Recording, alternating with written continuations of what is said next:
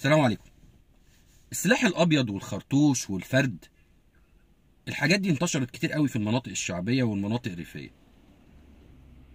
الأسلحة البيضاء بقت منتشرة مع العيال الصغيرة كأنها زي المصاصات. ما ننكرش حاجة زي كده. ومش لازم نحط راسنا في الرملة في حاجة زي كده.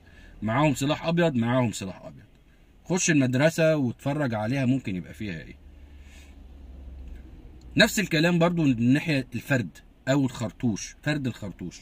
دي أسلحة بتصنع في البيوت. يعني حتة حديدة على حديدتين على ثلاثة بعد كده بعمل خرطوش بيضرب فيه طلقات نارية. قاتلة طبعا. دي اسمها صنع منزلي. ما علينا. انتشرت قوي في الآونة الأخيرة. آخر حاجة حصلت الخناقة اللي حصلت ما بين حمو وما بين جيجا. اسمهم كده. حمو مسجل الخطر اللي أكتر من عشر قضايا بلطجة وجيجا اللي عنده أكتر من قضيتين أو ثلاثة يعني الاتنين مسجلين.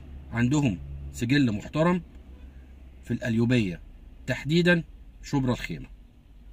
حصلت مشادة كلامية ما بينهم هما الاتنين. ما بين حمو وما بين جيجا. حمو اللي شغال ميكانيكي في شبرا الخيمة. وجيجا صاحبه لكن ما بيشتغلش. الاتنين كان عليهم خلافات مالية كبيرة. مع بعضهم الاتنين مع بعض. الطيور على أشكالها تقع. الخناقة اتطورت. جيجا راح مطلع فرد الخرطوش وضرب حمو بيه في وشه. على طول اتنقل حمو المستشفى ناصر العام في شبرا الخيمة. على طول إدارة المستشفى الاسم المتواجد جوه المستشفى أو النبطشي بلغ على طول النجدة والنجدة بلغت مدير الأمن. اللي بعدها عرفوا الموضوع كله وسبب تطور حالة ضربة النار اللي جت في حمو الميكانيكي. زي ما قلنا الاتنين مسجلين. الاتنين معاهم سلاح أبيض وأسلحة محلية الصنع هنا النقطة اللي إحنا بنتكلم عليها. إحنا بنتكلمش دلوقتي على الوفاة بتاعة حمو ومنتكلمش على الوفاة أو حالة الوفاة اللي أدت إنه جيجا ضرب حمو بيها ومات بعد كده حمو. هي نازلة على السوشيال ميديا كلها. حمو مات بسبب جيجا. ده مختصر الكلام. طبعا اللي هيسمع هيسمع إن يفكر حمو بيكا والأغاني الشعبية والحاجات دي كلها. لا هو بس العنوان مثير شوية وجبناه عن طريق كده. ولكن النقطة اللي إحنا لازم نتكلم فيها انتشار الأسلحة المحلية الصنع مع الناس أو مع البشرية. يعني ممكن تلاقي فرد محلي ب 1000 جنيه ولا ب 800 جنيه ولا ب 900 جنيه. ويضرب نار زي بندقية الخرطوش بالظبط.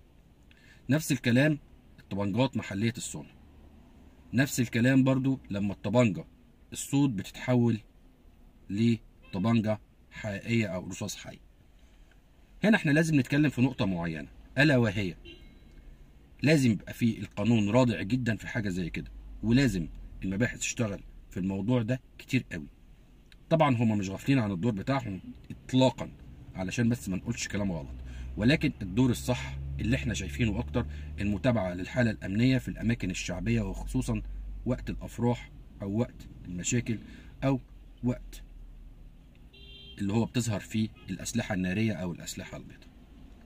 دي النقطة الأولانية. تاني نقطة القانون الرادع في حاجة زي كده لما واحد يتحكم عليه حكم معين ويتاخد فيه على دماغه محدش هيقدر يمسك أو إن هو يفكر إن هو يمسك فرد محلي أو مطوة أو قرن غزال أو ايا كان من الحاجات الأسلحة البيضاء.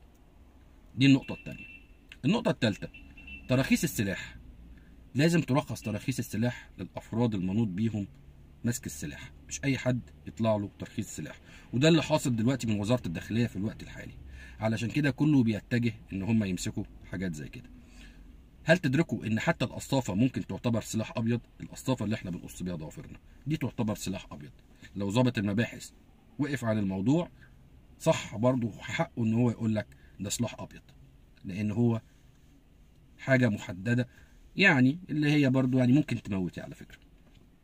ده ببساطة الموضوع اللي حصل في شبرا الخيمة أو القليوبيه في مستشفى ناصر العام تحديدا وحالة قتل حمو إن هو اتقتل على يد جيجا.